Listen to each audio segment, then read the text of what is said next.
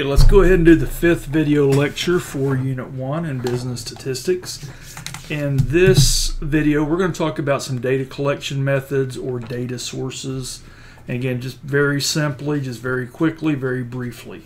Entire classes could be devoted to any of this, as you've heard me say too many times in this unit.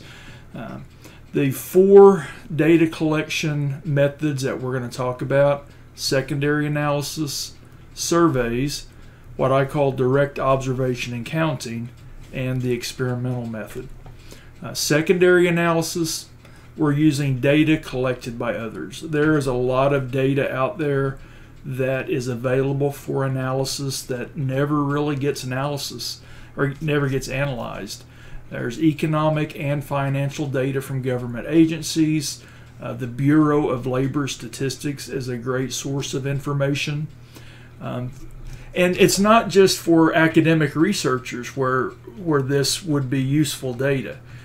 Uh, businesses that were thinking about moving from uh, expanding their operations from one city to another city or from one state to another state could use these data for their analysis uh, to determine if that was a wise move, if it was if it made sense to move um, your business from Tulsa and expand into the Dallas market, for example.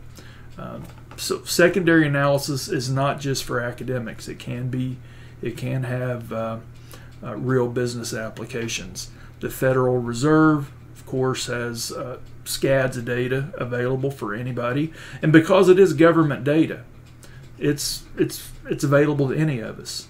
Now there there are some data there are some data held by government agencies that you may have to go through a process. You may have to request the data. You may have to fill out some forms. It's not going to be available online. Uh, but there's a lot of available data online. Uh, all you need to do is be able to download it into a, into Excel. Uh, Bureau of Economic Analysis is another source for existing data. It could also be uh, data that's collected during normal business operations or normal business activities. It doesn't have to be uh, financial data, even. It could be financial data, it could be human resources data, it could be safety data that's compiled during normal business activities. Once it's compiled, it's stored, then it would be available for analysis into the future if. Uh, if that analysis was was needed. Uh, I'll give you an example of this just very quickly. I don't want to spend too much time on this. Uh, just I just want to give you a taste of it. Uh, my first job as a safety manager, I went to a company that had uh, was having horrible problems, a lot of injuries. They were having fatalities, people dying in the workplace. One of the first things I did, I looked at company records and found data for the previous 20 years of that company's uh, that company's history and their safety performance.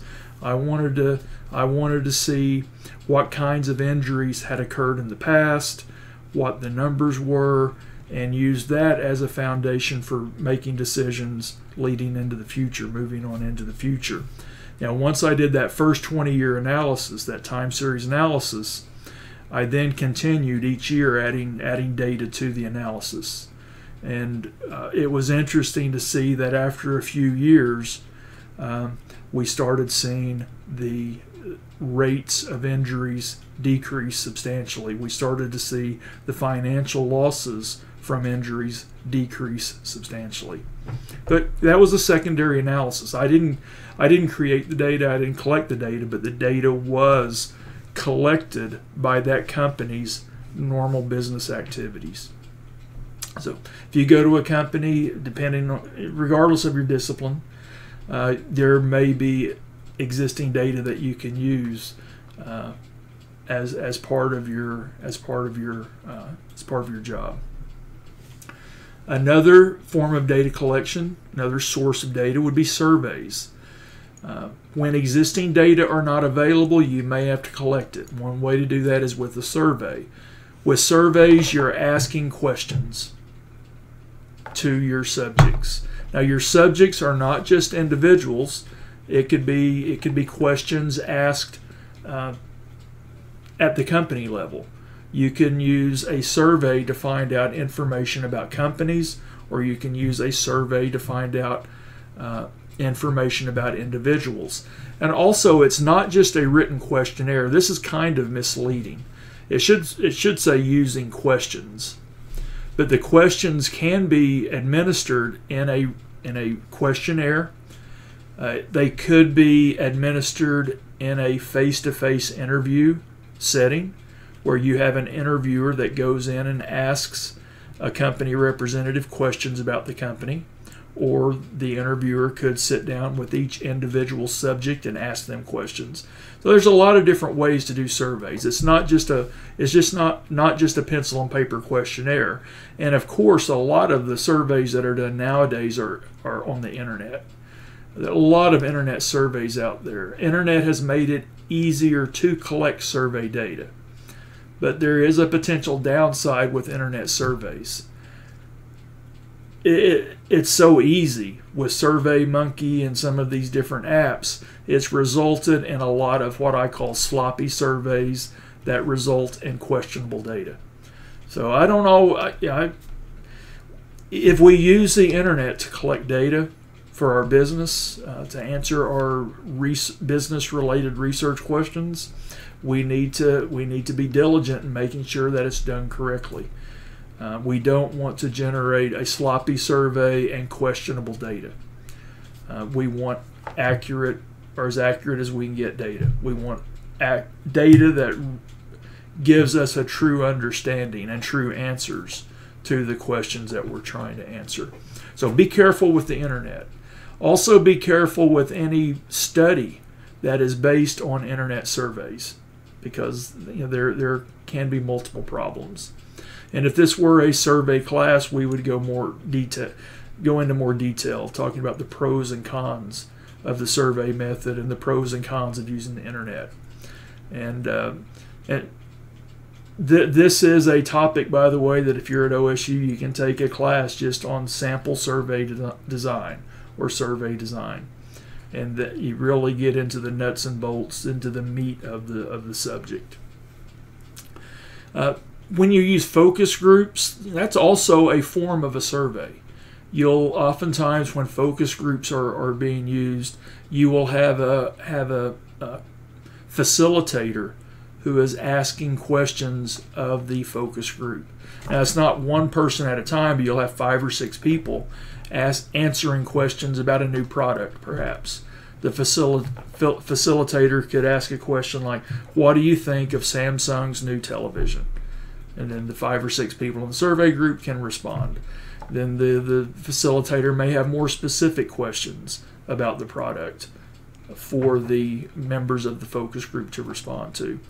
Uh, focus groups can be useful, but they they have their pros and cons as well.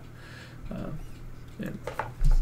so surveys, focus groups, another way of collecting data, obtaining data.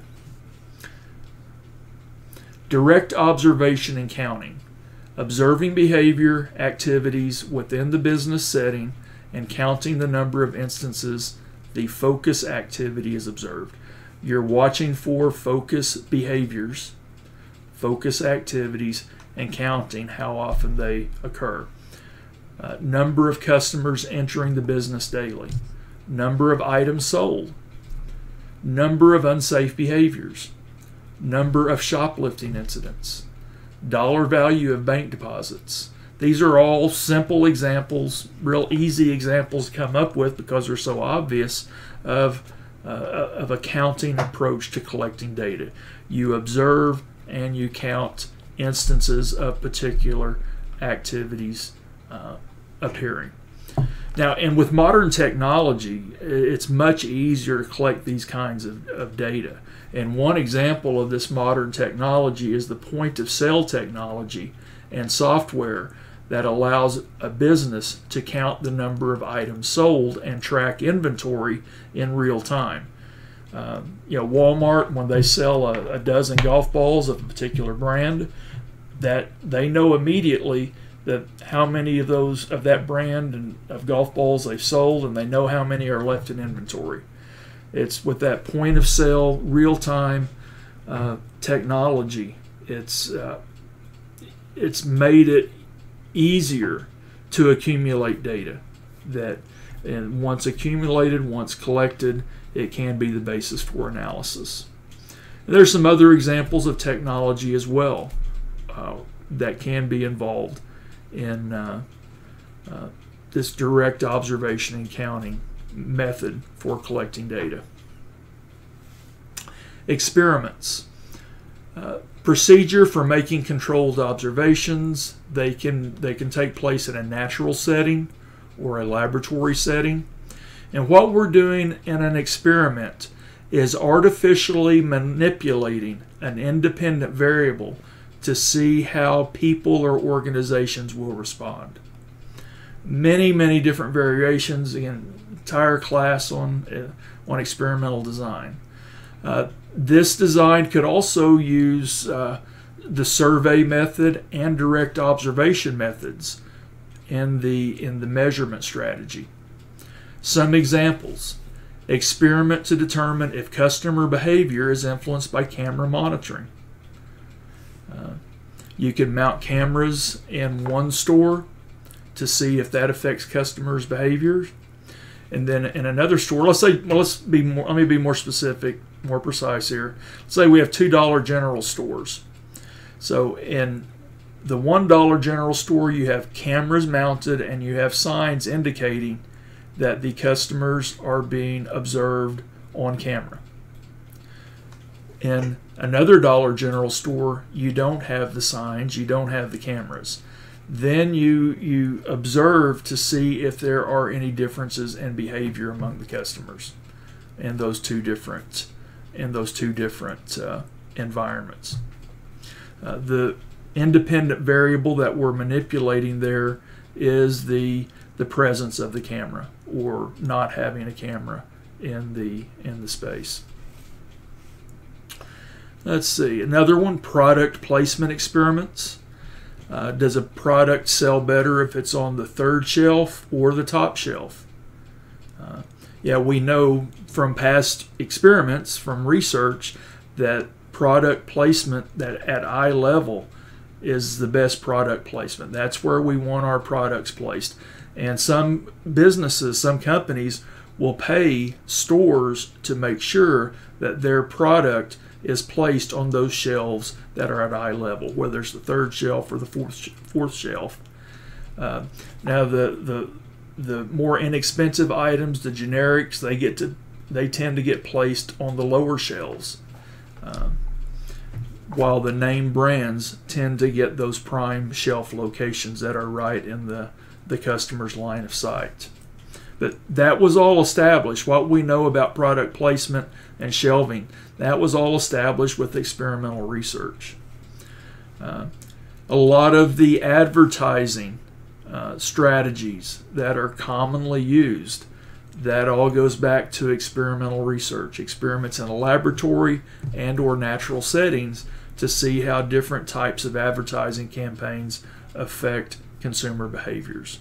But yeah, I wish we could go into this in more detail because there's there's really a uh, it's a very interesting method that has a lot of potential, uh, a lot of potential applications in different business disciplines. But again, we're just leading up to the statistical analysis part of the class here by talking a little bit about collecting data. All right, that's it for this video. That was a short one, less than 16 minutes. Uh, we'll come back here in a little bit and I will finish up by talking about ethics and data analytics. We'll talk about both of those topics in the last video, which also should be pretty short.